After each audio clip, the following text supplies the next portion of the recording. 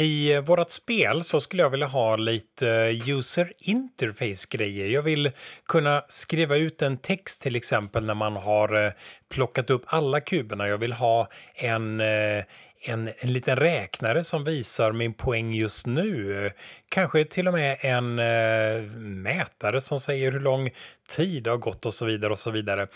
Framför allt så vill jag satsa på det här med att eh, skriva ut en text när vi har plockat upp alla grejer, så det tycker jag vi gör nu. Okej, okay, user interface-saker. Vi lägger till det. UI Toolkit, UI Document. Nej, här finns inga interface-saker. Det där är någonting som vi behöver lägga till. Så under Window och eh, Package Manager så ska vi då lägga till en pryl i vårt projekt. En pryl som vi tog bort alldeles nyss. Det fanns ju fler saker här, men vi tog ju bort dem i början av en god anledning. Istället för att titta på paket som är i projektet så trycker jag där och säger Unity Registry. Här finns det massvis med olika paket som finns i Unity att tillgå. Att antingen leta i listan eller att söka i listan låter som en bra idé. Jag söker på text och får upp någonting som heter Text Mesh Pro. Den vill jag ha. Den ser till att göra Unity-gränssnitt. Det fanns andra sätt förr i världen som man använde för att göra gränssnitt på Unity UI heter det sättet och för det så heter det GUI kort och gott. Men eh, nu för tiden så är det bra att använda TextMesh Pro för att göra grafiska saker. Vi kommer inte att göra så mycket mer än att bara skriva ut lite texter på skärmen, men eh, det här i TextMesh Pro kan göra väldigt många fler saker än bara det där. Så vi trycker på installknappen för att installera TextMesh Pro och där var det färdigt. Strålande. Vi stänger av den där och eh, trycker nu på knappen. Nu har vi fått ett nytt alternativ UI, för det, förut fanns inte det där alternativet. Under UI så kan vi göra scrollbars och knappar och så vidare det vill göra är en textknapp av typen Text Mesh Pro, så jag trycker på den där. Vi får upp en fråga här att eh, för att kunna använda TextMesh Pro i alla fall lite grann någorlunda lämpligt bra så behöver vi importera så kallat TMP Essentials och den vill vi ha så vi trycker på knappen Import TMP Essentials.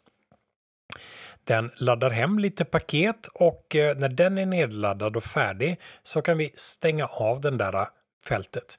I våran Assets så ser vi nu att vi har fått ett nytt alternativ. TextMesh Pro har dykt upp där. I den här mappen så finns det dokumentation, lite fonter att börja med och så vidare och så vidare. Vi ser upp i våran hierarchy att det har skapats eh, två nya grejer. Dels har det skapats en eh, canvas och i canvasen har det skapats en pryl som heter text. Det är den där saken som vi vill ha, men vi vill ju att en text ska dyka upp när vi vinner, så jag börjar med att döpa om den här till WinText, därför att det är ju precis det den ska göra. När jag vinner ska den där texten dyka upp. Så, hur ser då min canvas ut? Jag trycker i vanlig ordning på canvasen för muspekaren ut här och tryck på knappen F. Där har vi hur canvasen ser ut.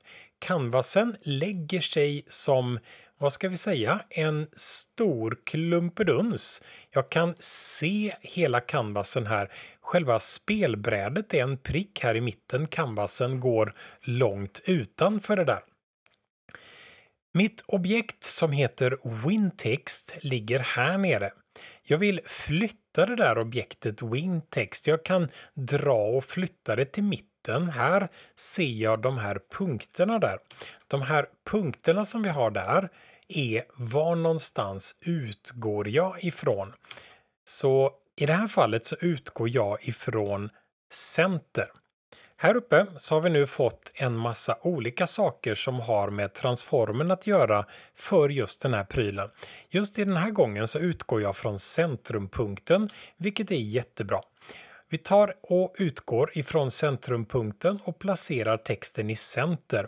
Jag ser att positionerna X och Y ändras här. Vi kan nolla ut den här för att få den precis i mitten och sen så kan vi flytta den lite uppåt och neråt och placera den där vi vill ha den. Låt oss säga att det där blir ett bra ställe. Jag får en liten container innehållande lite text som jag kan använda för att skriva saker och ting. Men eh, jag vill ju lösa det där med själva skriften i programkod så det där löser vi senare.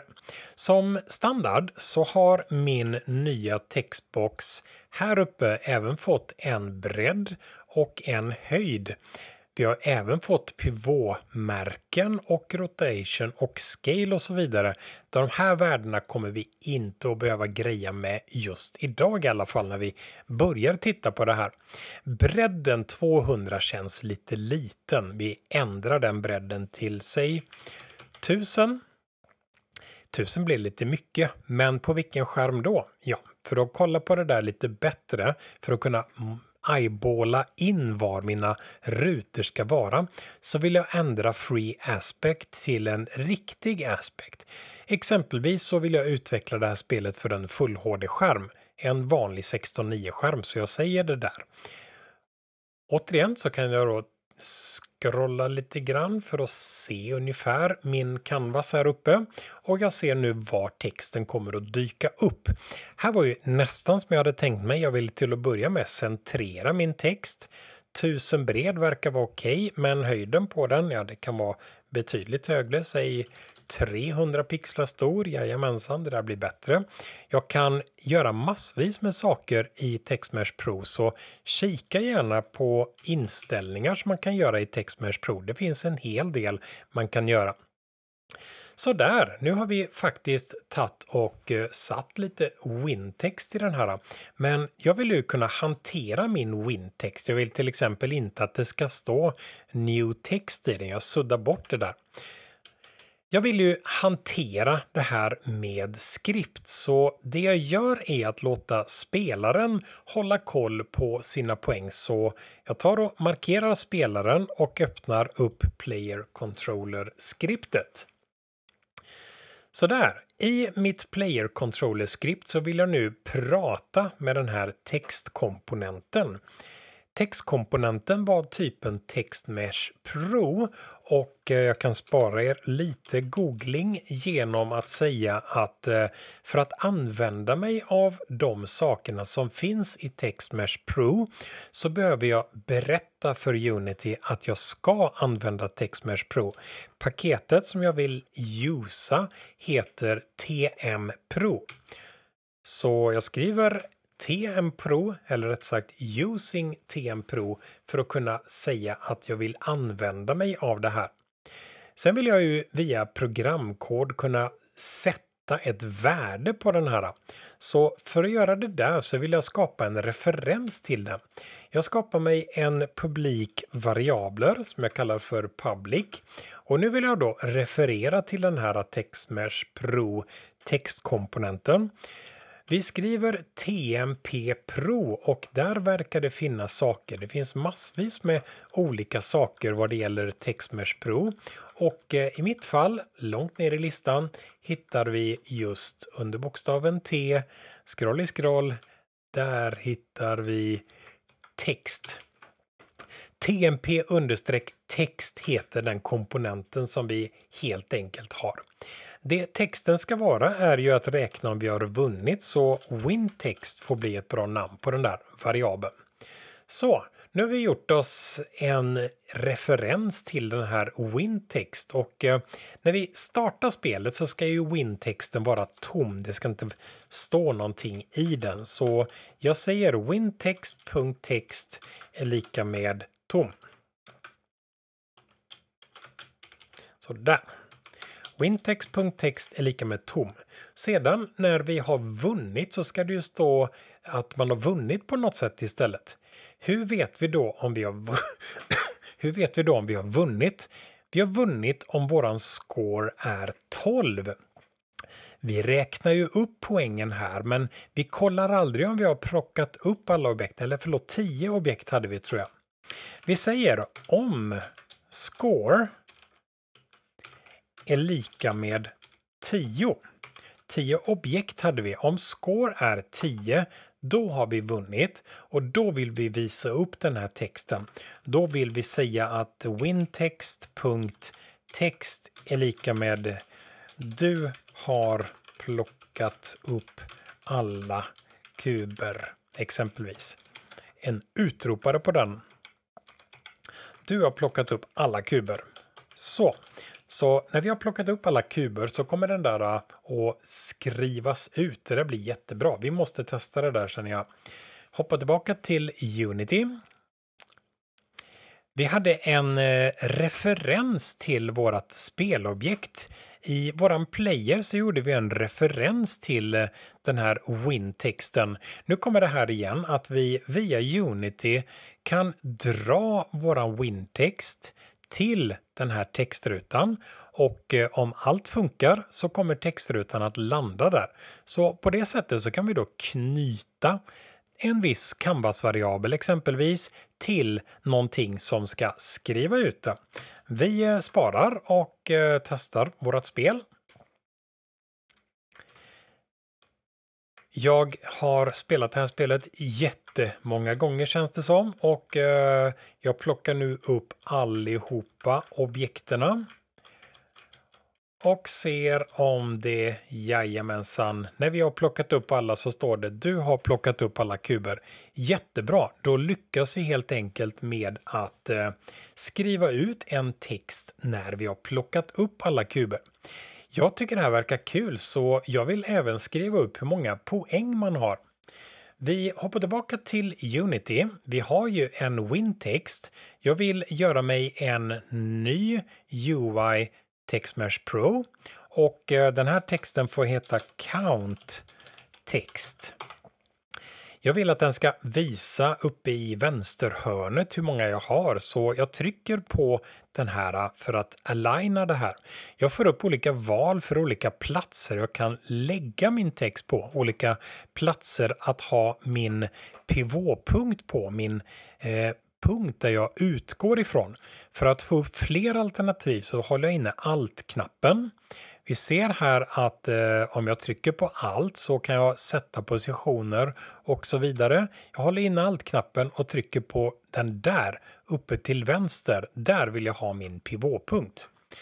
Släpper knappen och eh, tittar var landade nu min pivotpunkt? Jo, här uppe i stan landade den och eh, kan dra ner texten lite grann. Jag vill även göra lådan större. Vi ser hur stor lådan är. Lådan är det gula område som dyker upp runt objektet. Jag vill ha större text och större låda. Dra till med 500 gånger 100 stor låda. Det där blir en jättestor låda. Får jag dra in texten så den landar ungefär där jag vill ha den. Kan ändra storleken på den. Låt oss säga 60 punkter stor. Jajamensan, då syns det. Så, jag har nu skapat mig en count-text och eh, det där ser jättebra ut. Vi sparar det där för nu ska vi med programkod skriva ut hur många poäng som vi har fått helt enkelt. Så tillbaka till Unity. Vi har gjort oss en referens till min WinText. Jag vill göra samma sak för min count-text. Så jag säger public tmp text och count-text. Eller score-text skulle man också kunna skriva på den där. Så, för att skriva ut våran poäng så skulle vi kunna ta och börja med att ja, vi har där poängen är 0 när vi börjar. Så vi kan väl ta och säga att eh, counttext.text är lika med och eh, ja, hur mycket poäng har vi när vi börjar? Eh, poäng kolon 0 ska det stå i den där rutan. När vi sen har plockat upp någonting så vill vi då uppdatera poängerna. Här så ser vi till att öka våran score, deaktivera objektet. Det vi vill göra är att skriva ut hur många poäng vi har. Så vi kan väl säga ungefär samma sak. Vi säger att eh, wintext.text är lika med poäng kolon och nu vet vi hur många poäng man har. Man har ju nämligen scorepoäng. Så där, det där borde funka. Men kors i all sin dar vad dumt det är. Observera nu att vi har skrivit precis samma där som vi har skrivit där. Vi sätter win-texten på två ställen, och, eller förlåt, vi sätter count-texten där och vi sätter inte Wintext, Countext. Hoppas att ni inte hann skriva det. Vi sätter counttexten där och vi sätter counttexten där. Det där är ju bara dumt. Det finns ju ett mycket bättre sätt att göra det där på. Istället för att skriva precis samma sak två gånger så gör vi såklart en funktion av det. När vi har gjort en funktion av det så kan vi anropa funktionen precis så många gånger vi vill. Visual Studio hjälper till att göra, att bryta ut saker och göra funktioner av det. Och eh, det vi använder oss av är så kallad refaktorering. Vi kan helt enkelt låta Visual Studio hjälpa till och skriva ett par rader åt oss. Vi gör som så att vi markerar den här texten den vill vi refaktorera, det vill säga bryta ut. Jag högerklickar på den och eh, i alternativen som dyker upp här så längst upp står det Quick Actions and Refactorings. Jag får då upp olika saker jag kan göra med det här. Jag kan skapa en ny lokal variabel och så vidare. Men framförallt så finns det någonting som heter Extract Method. Och eh, den vill jag använda mig av. Jag vill bryta ut den här koden till en ny metod helt enkelt. Får välja vad metoden ska heta. Ja, vad gör metoden? Set count text exempelvis får metoden heta och jag trycker på enter. Såg ni det när jag skrev att eh, det som ändrades var både anropet till funktionen som vi har där och namnet på funktionen. Istället för att ge, istället för att göra det, istället för att skriva det här på flera ställen så gör jag istället ett anrop av det. Så jag anropar funktionen setCountText hoppar ner exekveringen i det här programmet ditåt och gör det som står där. Så set count text låter som ett mycket bättre alternativ och setCountText set count text har vi även och anropar i våran eh, update-funktion. Så vi ersätter det där som stod där med set count text. Så vi tar och eh, sparar, hoppar tillbaka till Unity och kikar hur det ser ut. New text står det där uppe. Null reference exception. Det här var inte bra. Vi stoppar alltihopa, hoppar till våran player och ser att eh, i våran player så har vi inte dragit någon referens till vad counttext är för något. Så vi drar counttext och släpper på den där.